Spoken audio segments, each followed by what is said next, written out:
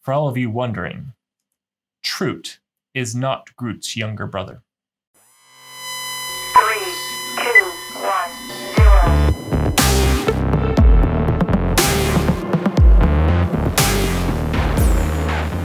The No Channel. Welcome to another Mighty Mini Monday. All right, so today's episode is a little bit deceiving. And I say that because this episode's really about containers and what drives them. So you might want to know why chroot has anything to do with containers.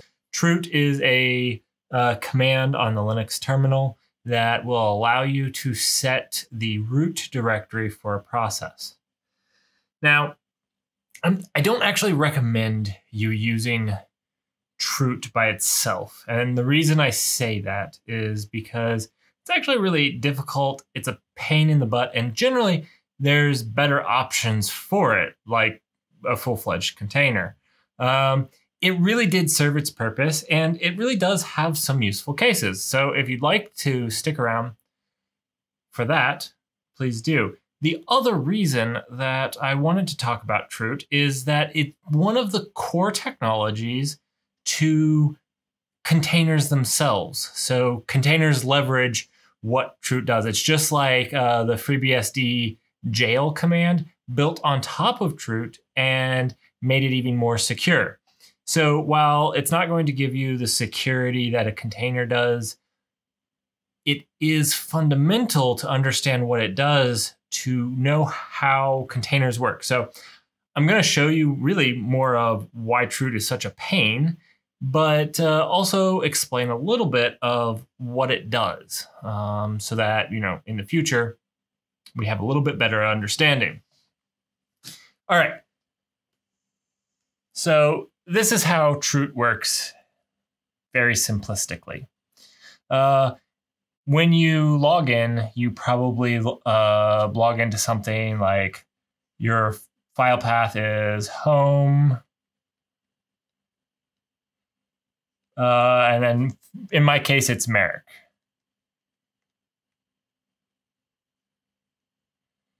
And then you have that's your root directory or your home directory. Now, uh, your root directory would be this right here. And it has uh, several things in it. One thing you could find is home is in the root directory, bin is in the root directory. There's, there's a lot of folders in the root directory, but the root directory is just the slash. What chroot does is uh, on my machine, I have a directory called home.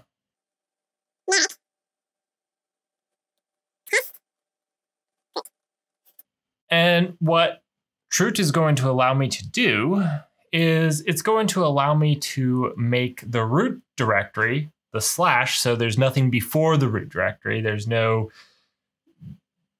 pre file system. There's no way to get back. You know how you can do uh, cd dot dot and get back a level? You can't go back past the root directory. That's the root. So what if we run chroot here, it's going to take this here and make that our root. So it's going when you go to cd to slash cd to root, your root directory is going to be whatever's here. So let's say we have this file in here called uh, test, and you ran ls in root, you would get that test file would be displayed. So this is what chroot does. It changes your root directory to some directory in your file path, and you can tell it whatever you want. Now, this is great, and this works. This here works great. There's a couple problems. First, uh, you can actually escalate out of it if you're privileged. Um, but let's not focus on those problems. The, the real problem is it's not very usable, and I think that it's great as a build tool. Uh, I think that it's probably one of the best build tools out there. Um, and so by that, I mean it will allow you to know that you've packaged every dependency when you went and packaged your the build of your thing. Because if you set your chroot to an empty directory, you're going to have to populate it with everything you need, and there's no missing dependency in your build.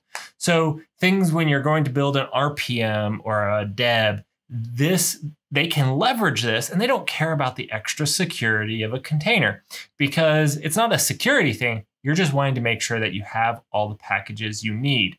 And this excels at that. So this is a great example of when to use it. Now, if you wanted to go and use it, I'm going to show you why it's a little bit painful to use. Um, so I have this. You can see here, I have this uh, test root, and we're going to cd into it. Now, we want to set chroot here, so we're going to do sudo root uh, home Merrick test root. Gonna ask for my password, and it's gonna say no bin bash. So by default, it's going to run bin bash there. Uh, well, bin bash doesn't exist there. Now I can copy bin bash over there, and that's great. So so now I've copied bin bash, and we can see it here, and we can look here. Bin and oh, one second. Uh, and we can see bash is in bin. The problem is bash has dependencies. And so to actually get this to run with bash, not only do we have to copy bash over, but we need to look at what dependencies bin bash has. And we need to copy all of its dependencies over. Again, this is why I think it's an excellent tool uh, an excellent piece of equipment for build systems because it's going to ensure that you have all your dependencies when you're packaging it up and there won't be any surprises. That being said, as a developer's tool, you need to wrap this in a lot of scripts to make it really useful so you can use it quickly. And then if you're wrapping this in a lot of scripts, you should just use containers because basically, um, while it gives you some more stuff, things like Podman or Docker give you all those scripts. That's what they do. So this is why I'm showing it to you because I actually want to do containers the hardest way because that's what we do here is things the hardest way. And to do that, I just wanted to go a little background of some of the stuff that containers are going to do. And one of the things they do is give you this fake root. I'm going to call it a fake root. It's a root that isn't actually the root of the file system. And I know this is super basic. Stick with me though, because you really need to understand this when we get further into containers the hardest way. And I love the theme, and we're going to stick with that. We're going to do lots of things the absolute most difficult way. So, if you wanted to get this to work, all you need to do is copy all of these things painfully over there, and then you could chroot and have bash running in chroot. Now, nothing else would be accessible because you just copied the bin stuff or the bash stuff. You'd have to copy your other stuff that you wanted to run in bash into this so that it could run. So again, not maybe not the most useful on a day-to-day as a developer tool. Again, I still think it's valid for packaging systems, but uh, yeah, as a developer, I have some uh, videos coming up. These are leading into it. We're doing containers the hardest way. Containers the hardest way is going to be really awesome because you're going to understand what Docker is doing behind the scenes. When you build an OCI spec container, I mean, that is just building a spec, and we're going to do it by hand. So we understand every single step that it does, as well as it's going to let you build better containers in the end. Then we're going to use Docker to empower our development work style. I know I've done a whole bunch of DevOps here, but we're going to focus a little bit.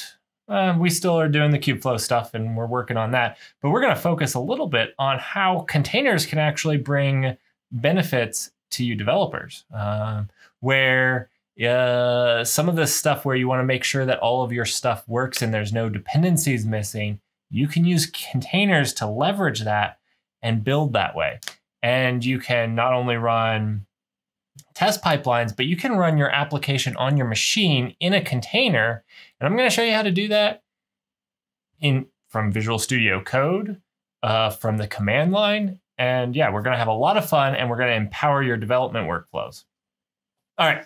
If you like this video, make sure to hit the uh, like button and subscribe to it so that you can see future videos of things that we're doing here on this channel. This channel covers a lot of stuff from uh, development and DevOps, and I really look forward to sharing my knowledge. If you didn't like this video, go ahead and hit the subscribe button, stick around, and see if these videos get any better for science.